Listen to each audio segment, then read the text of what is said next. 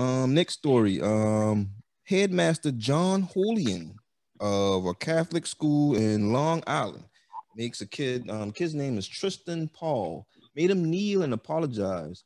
And the reason why he made him apologize because the kid was in class. He didn't finish his work. He just went on to the next lesson. I guess the teacher didn't like that. And for whatever reason, he got sent to the principal's office or the headmaster's office.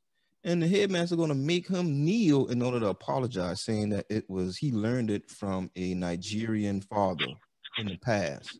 And he, real quick before I pass the, the, the mic on this one, two things about the story that I don't that that bothers me. Number one, why you get sent to the principal's office, headmaster's office because you going ahead in your work.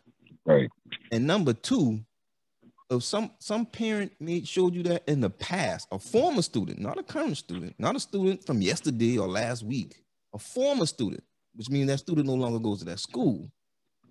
What the fuck that got to do with what you doing today? If you ain't did that with every other student, why the fuck you doing it now? So those two things that bother me about that shit, man. Um, uh, I don't hear what you got to say on this one, man. You ain't paying attention, is you? I'm gonna move on. To, um, I'm gonna hey. move on. I'm move on to Hannibal hey, this one. Hey, brother, you sound mum. Dalvin. attention, nobody can make out what you're saying, brother. You know what I'm saying? You gotta, you gotta, you gotta open your mouth and use words. All right. Listening to all, Dalvin. Thanks. You, you wouldn't listen. I'm sorry.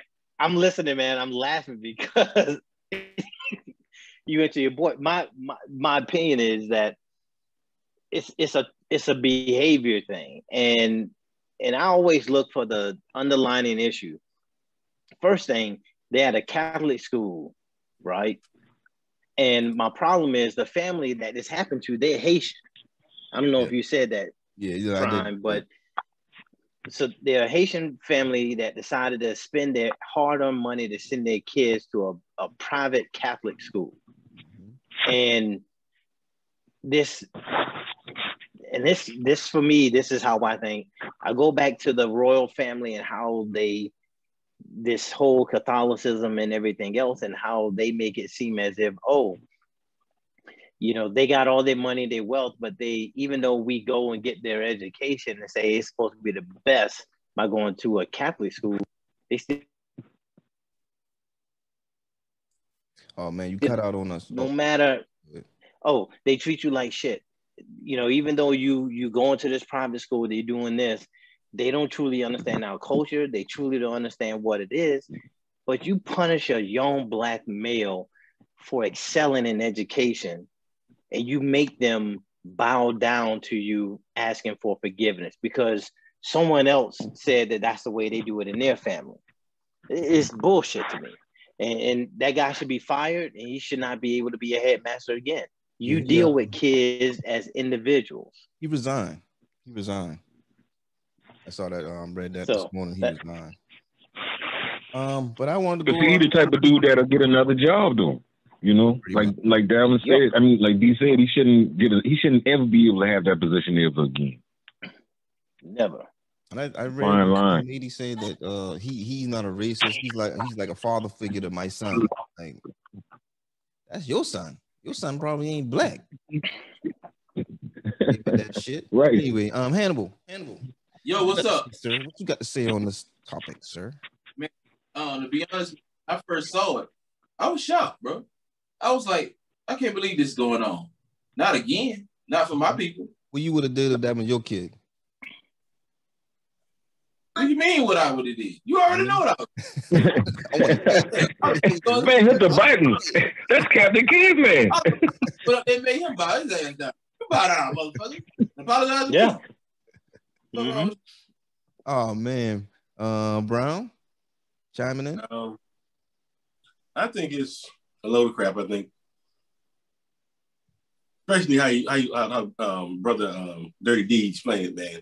Let's break down. Um, I'm paying my good, my hard-earned money to send my kid to school, and you want to tell my kid to bow down to you? I'm about to come here and break all your fucking your back, your neck, everything. Yep. my neck, my my neck, my, no way in the I better own this school by the time this shit all when it's all said and done. Oh man. Yep. Not another fucking dime by me. We gonna own the school. We gonna run this bitch in the ground. Fuck your school. Fuck it. Fuck your system. Fuck all of you. Uh, uh, fuck. Let me get off this topic right now. I'm, I'm getting too pissed off. Rex, Rex, man. Yeah. Oh, Gotta chime in on this one, boiling over.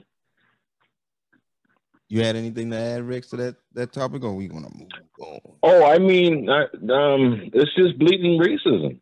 You know, I mean, you can't sugarcoat that shit. You can see it for what it is. I, I guarantee you, he never did that to any other child that passed through them halls. So, like Dirty D said, man, he should be. Well, he already resigned. He should never ever be able to have them type of positions ever again. Nope. And you know, it just kind of pull a little curtain back on the type of people that's teaching some of our kids. You know, depending on where you send them to school. You know, and I think you just got to be careful of that, especially nowadays, man, because they just they just fucking brazen with the racism nowadays, man. You know, and they're trying to start some stuff, but it is what it is. But he's a flake, and I'm glad he's the fuck out of there. All right. Um. Now, speaking of brazen, Prime, I got a question.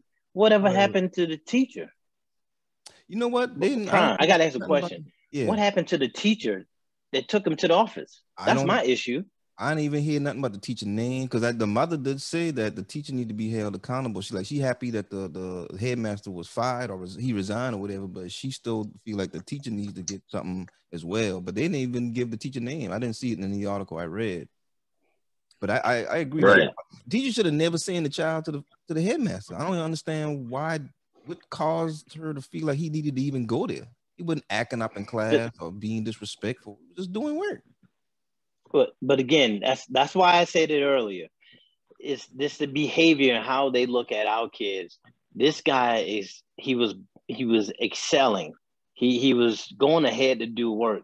And you've had the galls to take him to the office because he's going ahead. They need to they need to they need to they need to whip her ass too. I'm just being honest because Basically, they don't want niggas to get ahead. That's what that sounds like. is yeah. Pretty I'm much. trying to be politically correct. So yeah. they don't want niggas to get Pretty ahead, much. man. Um, talking about brazen racism. Now, tell me